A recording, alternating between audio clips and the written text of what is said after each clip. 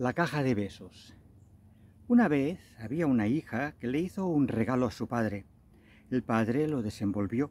Era una caja preciosa, toda esculpida de madera y pintada de muchos colores. Al abrirla, ¿cuál fue su sorpresa al ver que estaba vacía?